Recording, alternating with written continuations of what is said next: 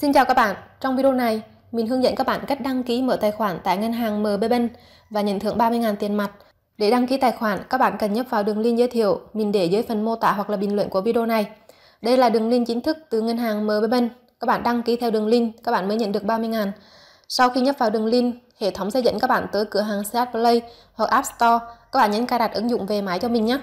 Cái giao diện đăng ký tài khoản của ngân hàng à, sau này có thể thay đổi thì các bạn cứ nhấp vào cái đường link giới thiệu của mình để đảm bảo đúng cái đường link của ngân hàng và các bạn cứ làm theo các bước mà app yêu cầu là được nhé. Các bạn đợi một lúc để hệ thống cài đặt ứng dụng về máy, sau đó các bạn tiến hành mở app ra cho mình nhé. Rồi, các bạn nhấn vào mở cho mình.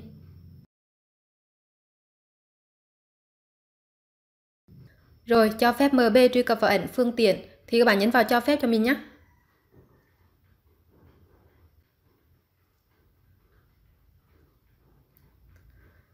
Tiếp theo các bạn nhấn vào đăng ký ngay. Rồi bước này các bạn lưu ý cho mình nhé. Ở đây nó hiện ra thông báo này. Bạn đang không ghi nhận tham gia vào chương trình giới thiệu nhiều nhận tiền triệu. Có nghĩa là cái đường link này nó đang bị lỗi này. Đây, đường link này nó đang bị lỗi nhé. Trường hợp này nếu các bạn nhấn tiếp tục đăng ký thì các bạn sẽ không được tiền thưởng. Các bạn cần phải uh, quay lại cái đường link giới thiệu của mình, nhấp vào cái đường link một lần nữa nhé. Đây mình sẽ vào lại cái đường link, mình nhấp vào đường link một lần nữa này.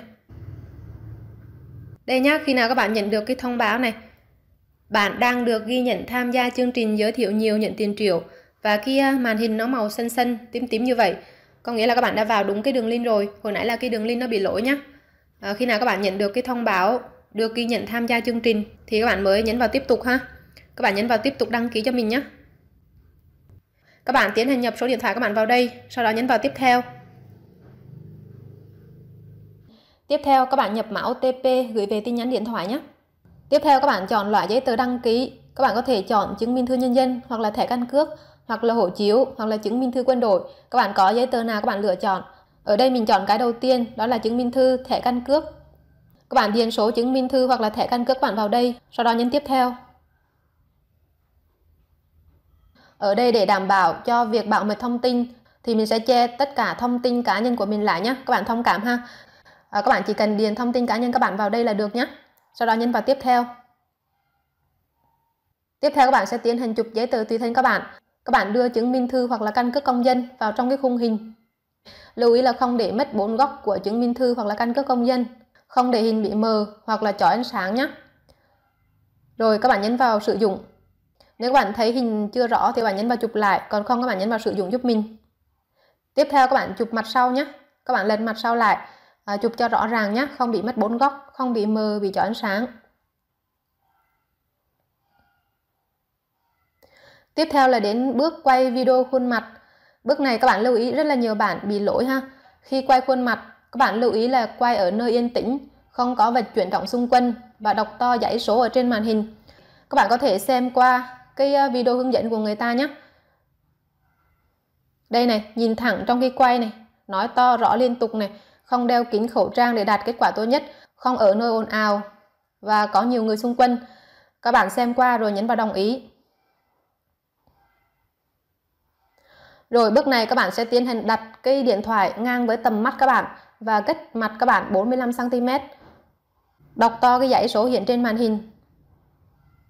Ví dụ như 1, 2, 3, 4, 5, 6, 7, 8, 9, 0. Các bạn đọc to rõ ràng cho mình. Lưu ý là quay ở nơi yên tĩnh nhé. À, nếu mà có tạp âm nhiều thì nó sẽ không có thu âm được và nó sẽ bị lỗi ha. Rất là nhiều bạn bị lỗi ở bước này. Tiếp theo, hệ thống sẽ hiện ra thông tin cá nhân các bạn các bạn chọn cho mình cái phần giới tính và điền thêm cho mình cái phần email. Ở đây mình sẽ che thông tin của mình lại nhé các bạn thông cảm nhé sau khi điền uh, giới tính và email xong các bạn nhấn vào tiếp theo. Nếu các bạn không có email á, thì các bạn điền tên các bạn vào và thêm vào cái đuôi là a gmail.com nhé rồi sau đó nhấn tiếp theo. Hệ thống sẽ hiện ra cái phần thông tin tài khoản à, phần tên đăng nhập hệ thống sẽ tự động lấy tên đăng nhập là cái số điện thoại các bạn. Còn cái phần mật khẩu thì các bạn sẽ tự đặt. Mật khẩu này ít nhất là 6 ký tự, bao gồm chữ in hoa, in thường, số và ký tự đặc biệt. Ký tự đặc biệt ở đây có thể là thăng hoặc là a còng. Các bạn đặt cho mình cái ờ, mật khẩu tương tự như ở trên màn hình. Ví dụ như là a, b, c 123 a cộng thăng. Đó, phải có chữ in hoa, in thường, số và ký tự nhé. Rất là nhiều bạn nhập sai cái định dạng mật khẩu do đó là các bạn không có nhấn cái nút tiếp theo được thì các bạn lưu cho mình.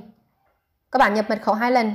Còn về cái phần thông tin hoàn thiện hồ sơ cái phần mã giới thiệu này người ta sẽ không bắt buộc các bạn điền nên các bạn bỏ trống giúp mình nhé đây là cái mã giới thiệu của nhân viên ngân hàng.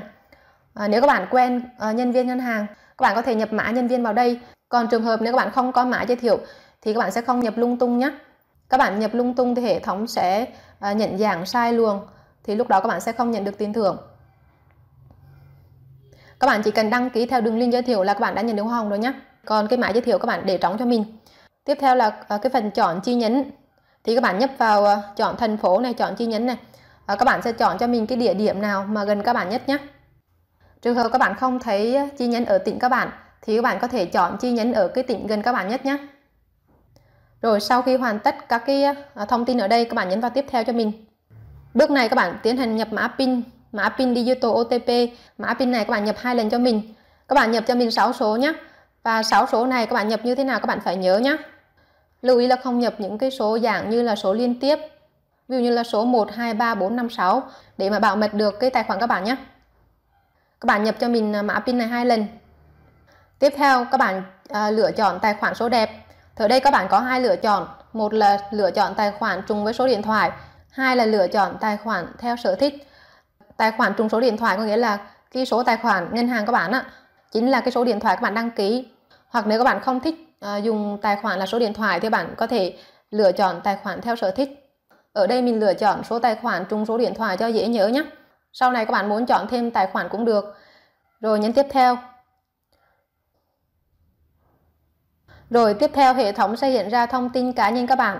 Các bạn kiểm tra lại thông tin cá nhân sau đó nhấn vào tôi đồng ý này tôi xác nhận này rồi nhấn vào xác nhận tiếp theo, các bạn nhập mã OTP gửi về tin nhắn điện thoại vào đây rồi nhấn vào tiếp tục rồi nhấn vào hoàn thành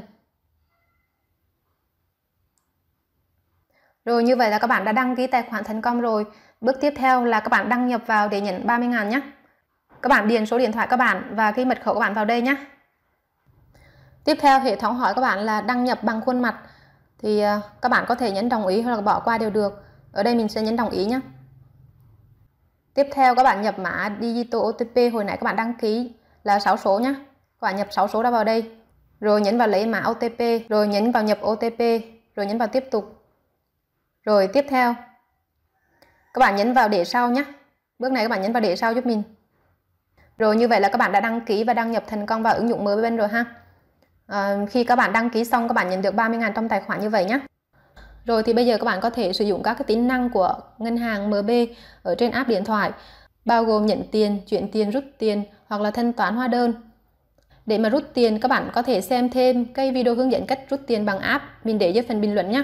Hoặc trường hợp các bạn muốn nhận thẻ ATM, tức là muốn làm thẻ ATM tại nhà để mà mình rút tiền tại các cây ATM á, thì bạn cũng xem cái video hướng dẫn tiếp theo ở phần bình luận của mình nhé. Còn trường hợp các bạn không muốn làm thẻ thì các bạn có thể uh, sử dụng app online ở trên điện thoại như vậy là được rồi. Hồi nãy là mình hướng dẫn các bạn cách đăng ký mở tài khoản theo số điện thoại. Thì khi bạn muốn nhận tiền từ một ai đó, các bạn đưa cái số tài khoản chính là cái số điện thoại các bạn nhé. Hoặc là các bạn có thể vào cái phần xem tài khoản ở đây này thì nó sẽ hiện ra cái ờ, số tài khoản các bạn chính là cái số điện thoại.